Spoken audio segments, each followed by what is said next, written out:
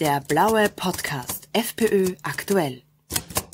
Nicht nur Wählerinnen und Wähler der Freiheitlichen Partei, sondern alle, denen an politisch unabhängiger Berichterstattung unseres staatlichen Rundfunks etwas liegt, haben sich in den letzten Jahren des Öfteren mehr als echauffiert darüber, was ihnen vom ORF präsentiert wird.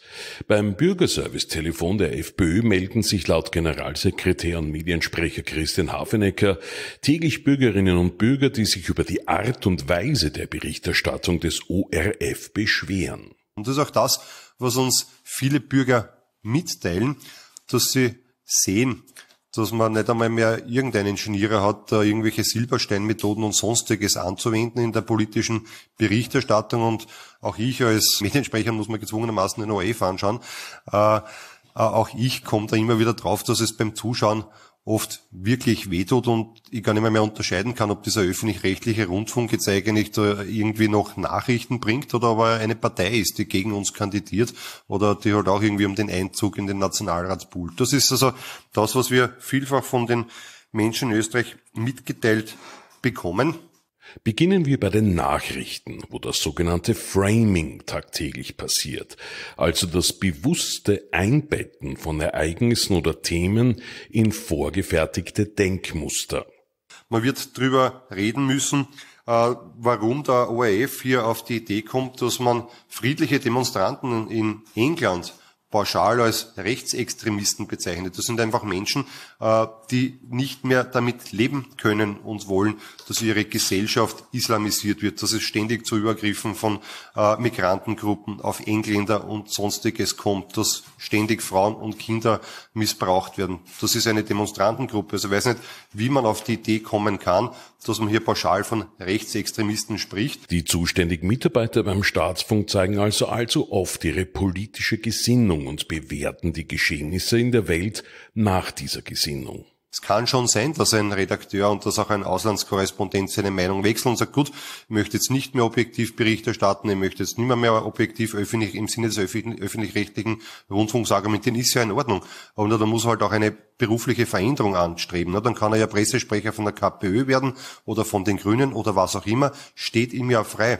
Aber sozusagen auf der einen Seite in der Sozial äh, auf der einen Seite im Privilegienstadel des ORFs verhaftet zu sein, mit allen äh, Vorteilen, die das mit sich bringt, und auf der anderen Seite aus dieser gesicherten Stellung heraus Politik zu machen, ist etwas, was die Menschen wirklich ärgert und was wir natürlich auch entsprechend aufzeigen werden und äh, was wir also aus unserer Pflicht sind, dass man natürlich auf dieser Ebene auch politisch entsprechend aktiv wird. Der von Christian Hafenecker angesprochene Privilegienstadel bringt den ORF in Verruf, wofür der unter Anführungszeichen kleine Mitarbeiter des Staatsfunks gar nichts dafür kann. Es ist wirklich schade für die vielen redlichen Mitarbeiter, die es da zweifelsohne auch gibt, dass also einige, die oben sitzen, hier so ein Bild vom ORF überhaupt erst zulassen. Der von der FPÖ vorgeschlagene ORF-Stiftungsrat Peter Westenthaler schlägt in dieselbe Kerbe, wenn er sich zum Beispiel die derzeitigen ORF-Sommergespräche ansieht. Vergleichen Sie es, Sommergespräche, Herbert Kickel, ein Verhör, ohne auf inhaltliche Themen einzugehen, ein echtes Verhör mit persönlichen Attacken. Sommergespräch Babler, ich habe zuerst geglaubt, wie man das angeschaut hat, das ist eine Sendung in einfacher deutscher Sprache, äh, weil da mehr war ja da nicht herauszufinden. Faserschmeichler, der Herr Dürr als Faserschmeichler, Hölzerlwerfer, äh, Erklärer. Ein weiteres großes Ärgernis für Österreichs Bürger ist die von der schwarz-grünen Regierung eingesetzte ORF-Haushaltsabgabe, die ja jeder, auch wenn er kein ORF-Programm konsumiert, zahlen muss. Meine Damen und Herren, ich bekomme jeden Tag eine zweistellige Anzahl von Mails, wo wir die Menschen, die Inkassobriefe schicken.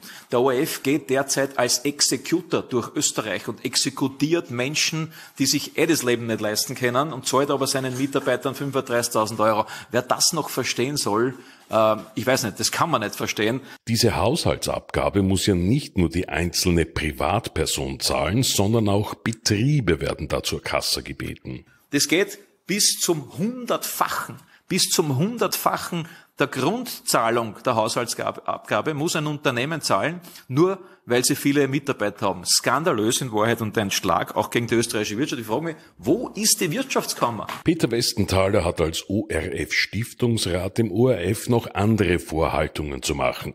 Stichwort Sora-Institut. Das Institut, das sich dort immer um Umfragen und Wahlergebnisbeurteilungen gekümmert hat. Das Sora-Institut des Foresight, Sie wissen, das ist jenes Institut, das vor einem Jahr ungefähr vom ORF hochkantig rausgeschmissen worden ist, äh, weil äh, eine Auftragsarbeit für die SPÖ mit Dirty Campaigning, äh, mit einem Konzept zum Dirty Campaigning, hauptsächlich gegen die Freiheitlichen, dort erstellt worden ist und dann auch durch einen Fehler, durch eine Fehlleistung, durch ein Falschmail veröffentlicht worden ist.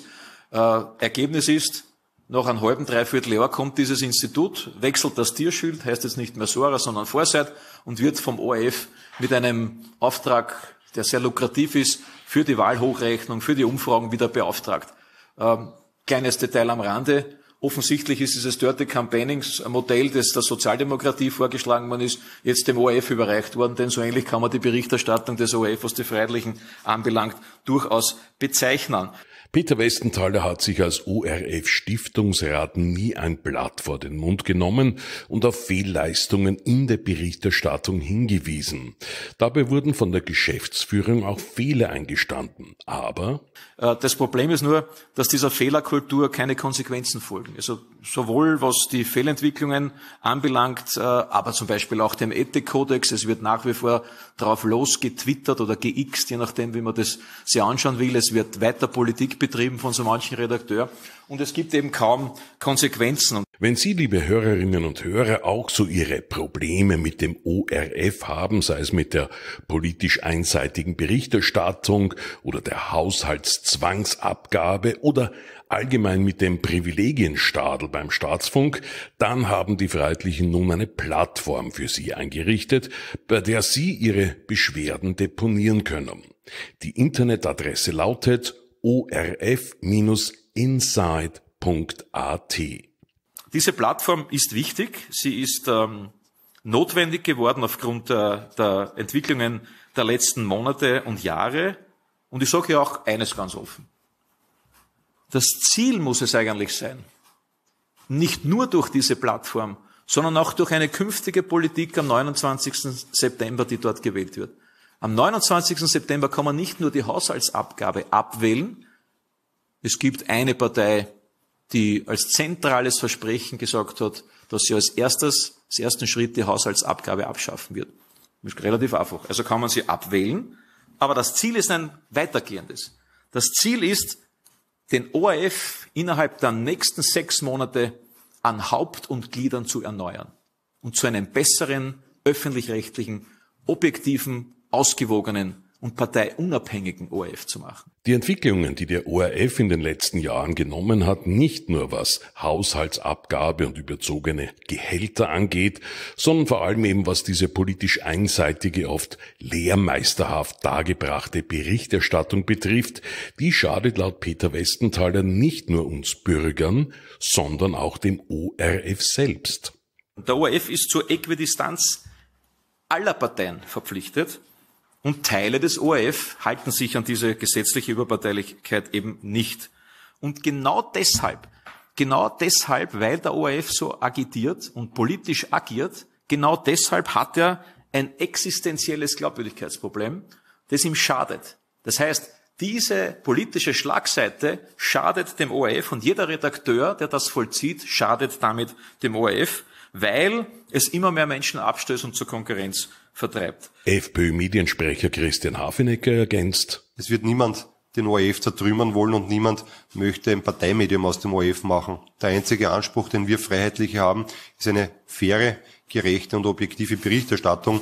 Die ist momentan leider nicht mehr gesichert und genau deswegen sehen wir uns auch zu diesen Schritten gezwungen. Und was die Haushaltsabgabe betrifft, ist eines klar. Herbert Kickl hat ja immer eines gesagt, also mit dieser unseligen Haushaltsabgabe werden wir natürlich als erstes abfahren und da kann man sich bei der Freiheitlichen Partei auch darauf verlassen und wie gesagt, also alles, was sich hier in diesem Bereich abspielt, ist ja mehr als unerträglich. Holen auch Sie sich den österreichischen Rundfunk als unabhängiges, den österreichischen Bürgerinnen und Bürgern verpflichtetes Medium zurück.